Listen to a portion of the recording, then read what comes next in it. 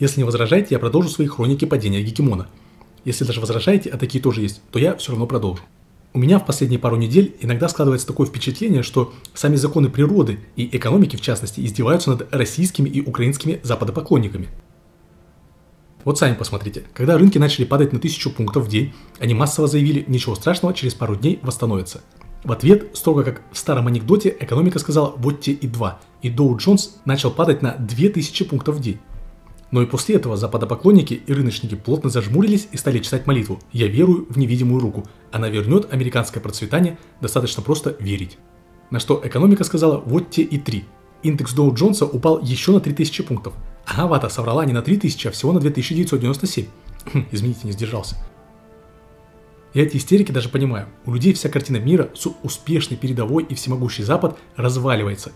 Схожую травму переживали миллионы советских людей, когда обрушили Советский Союз. А теперь пришла очередь коллективного Запада отрабатывать карму. Всего же с момента начала падения американские фондовые рынки потеряли свыше 2 триллионов долларов капитализации, а Dow Jones снизился с 29 тысяч до 20 116, вплотную приблизившись к психологической отметке в 20 тысяч, то есть на 9 400 или на 32%, из которых 12% пришлось на сессию, прошедшую в понедельник. За эти две недели торги трижды останавливали из-за резких падений, но это не помогло. Как не помогли и экстренные заседания правления ФРС. Как не помогло и снижение базовой учетной ставки до нуля. Как не помогло и вливание более полутора триллионов долларов свеженапечатанных денег и обещание слить еще 2,5 триллиона. На этом, собственно, весь инструментарий влияния ФРС закончился. Признаюсь честно, у меня были сомнения, что я не прав. То есть весь механизм, почему вливание бешеных триллионов не спасет фондовые рынки от дальнейшего падения, расписан. Однако оставался червячок сомнений. А вдруг? Но чуда не произошло. Экономика действует строго по законам. Другой вопрос, что эти законы мало кто знает, в том числе и среди экономических экспертов. И фондовый рынок обрушился в понедельник еще на 3000 пунктов.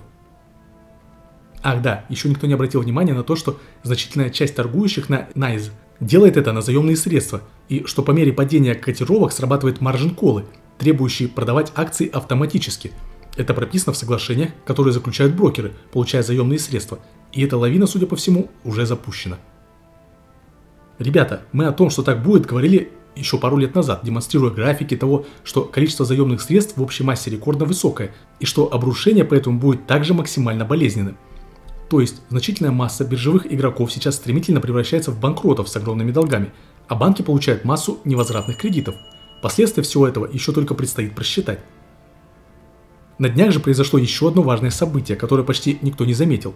Наши экономические эксперты, особенно оппозиционные, вообще старательно делают вид, что никакого кризиса в США и ЕС нет. Восемь крупнейших банков заявили, что до конца второго квартала текущего года не будут выдавать новых кредитов на обратный выкуп акций, бейбеки, я уже видел две теории заговора. Первое, будто эти 8 банков решили свергнуть ФРС и занять его место. Второе, будто они играют против Трампа на стороне демократов.